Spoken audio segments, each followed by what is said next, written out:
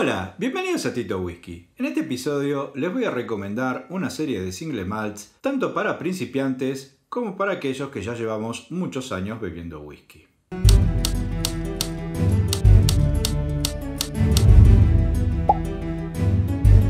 ¿El whisky de Malta es lo mismo en todo el mundo? Pues no.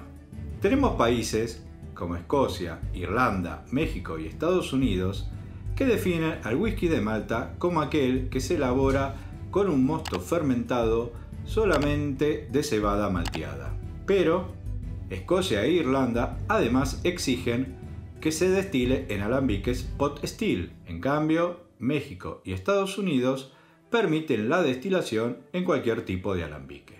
Luego tenemos países como Canadá, Venezuela y Nigeria que definen el whisky de Malta como aquel que se elabora con un mosto fermentado de granos malteados, sin especificarnos si tiene que ser cebada malteada o mezcla de diferentes granos. Pero Nigeria además exige que la destilación se haga en alambiques pot still.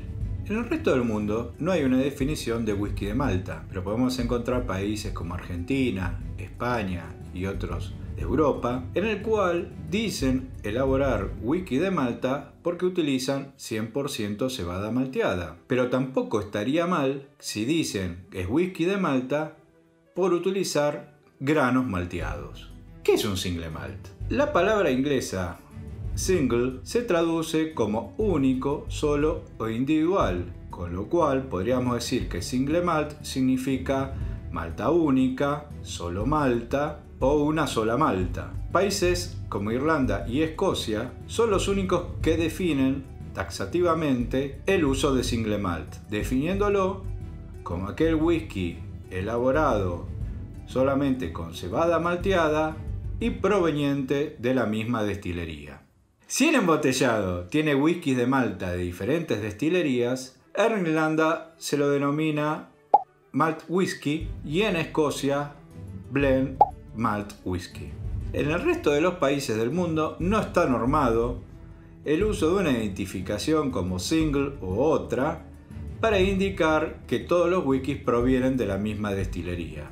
Pero en Argentina o en España, por ejemplo, se utiliza single malt o whisky puro de Malta. Dicho todo esto, a los efectos de este video, single malt son aquellos whiskies que se elaboran de acuerdo a la normativa escocesa e irlandesa. Dada la gran cantidad de marcas existentes, es imposible enumerarlas a todas, por lo que he realizado una selección basada en mi experiencia personal, en las de mis amigos y en las sugerencias de mis seguidores. Por tanto, no deja de ser subjetiva y orientativa.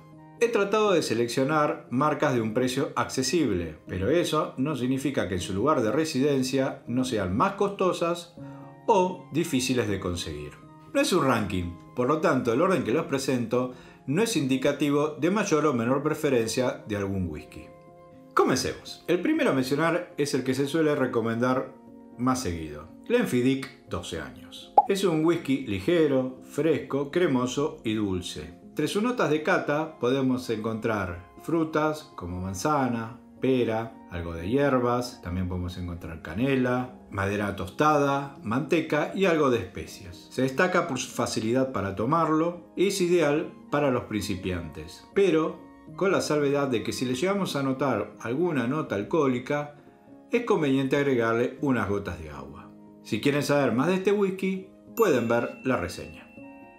Uno muy económico, que ronda por los 17 euros en España, es de la distillería Glen Grant, de Mayor Reserve. Este whisky NAS, pero que contiene whiskies muy jóvenes de alrededor de 5 años y se embotella a un 40% ABV, es muy agradable y fácil de tomar. Es un whisky fresco, suave y cremoso. Entre sus notas vamos a encontrar vainilla dulce, manzana, cítricos, frutos secos y algo de madera.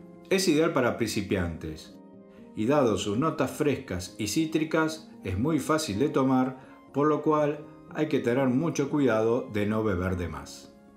Continuamos con el Glenmorangie Elgin Classic, otro whisky económico. Es un single malt que se añeja en barricas ex bourbon, que antes añejaron otros whiskies de esta destilería, con whiskies también muy jóvenes de 7 años y a un 40% ABV. Es un whisky fresco y ligero con cierta complejidad. Vamos a encontrar notas de miel, frutas como manzana, uvas, kiwi, cítricos, algo de frutos rojos, hierbas, jengibre y canela. Es un whisky de continuación de entrada en los single malts, no diría que es de entrada, pero sí para seguir avanzando. Y es muy recomendable tomarlo una noche cálida de verano acompañado por un rico café, un lemon pie o una tarta de manzana.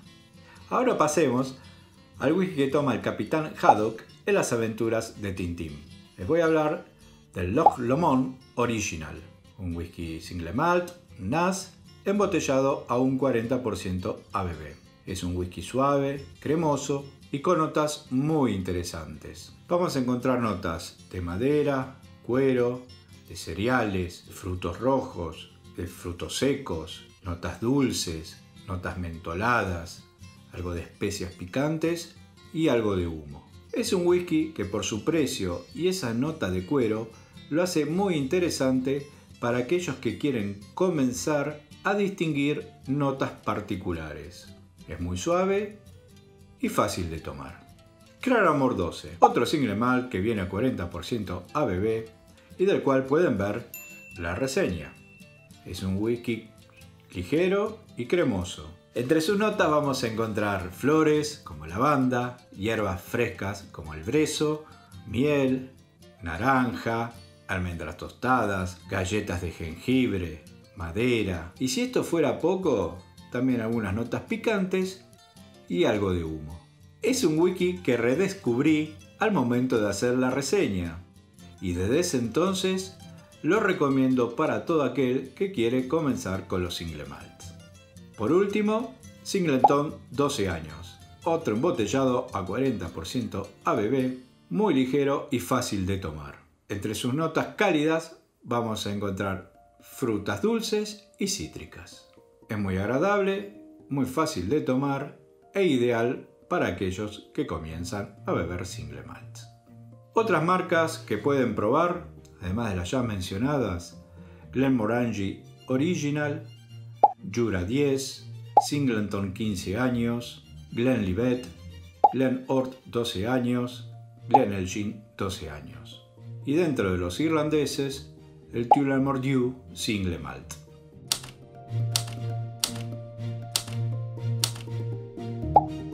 Como alternativa al ingreso a los single malts, podemos beber blend malt o blend de maltas. Entre las marcas que puedo sugerir, pero no voy a comentar, podemos encontrar Monkey Julder, Johnny Walker Green, Copper Dog, de Epicurean y de la empresa Compass Box de Spice Tree, The Story of the Spiner, el cual pueden ver la reseña, Oak Crows y The Pit Monster.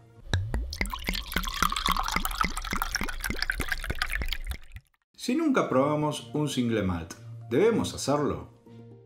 Pues sí, siempre debemos probar y experimentar nuevos whiskies para descubrir nuevos aromas y sabores y encontrar otras cosas que nos pueden gustar, ya que eso nos amplía nuestra experiencia con el whisky y nos da la oportunidad de descubrir nuevos sabores y aromas. Así que si les gustó el video, denle like y suscríbanse a mi canal a disfrutarlo.